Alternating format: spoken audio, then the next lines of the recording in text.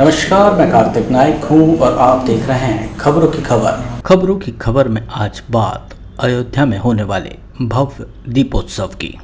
राम की नगरी अयोध्या में 23 अक्टूबर को होने वाले भव्य दीपोत्सव कार्यक्रम में प्रधानमंत्री नरेंद्र मोदी शिरकत करने वाले हैं।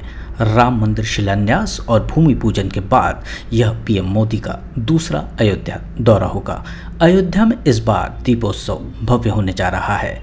पिछली बार लगभग 32 घाटों पर दीप जलाए गए थे, मगर इस बार 40 घाटों पर दीप जलाए जाएँगे।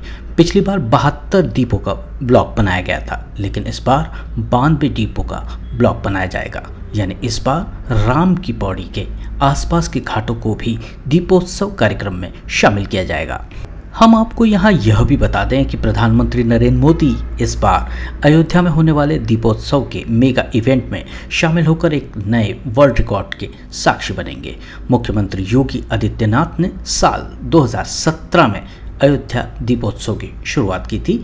इस बार के छठवें दीपोत्सव में 23 अक्टूबर को प्रधानमंत्री नरेंद्र मोदी शामिल होंगे और नया वर्ल्ड रिकॉर्ड बनते देखेंगे। दरअसल, अयोध्या में दीप उत्सव में इस बार 15 लाख से अधिक दीपक जलाकर नया वर्ल्ड रिकॉर्ड बनाने की तैयारी है।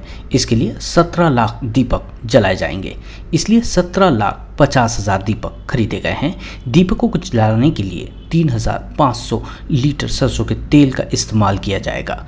एक साथ त्वरित गति से दीपक जलाए जा सके। इसके लिए लगभग बाईस हज़ार वॉलेंटियर की मदद ली जाएगी। अयोध्या में दीपोत्सव के दौरान देश की लोक संस्कृति और परंपरा की झलक भी दिखाई देगी। अलग अलग लोक कलाकार अपनी स्थानीय कला का प्रदर्शन करेंगे। वहीं आठ देशों की रामलीला का मंचन अलग अलग देशों के कलाकारों के द्वारा किया जाएगा। यह हम सभी के लिए गौरवान्वित करने वाला पल है। दीपोत्सव के दिन पूरी दुनिया की नज़र अब अयोध्या पर होगी। तो ये थी आज की खबरों की खबर। देखते रहिए खबरी, क्योंकि खबरी की है हर खबर पर नज़र।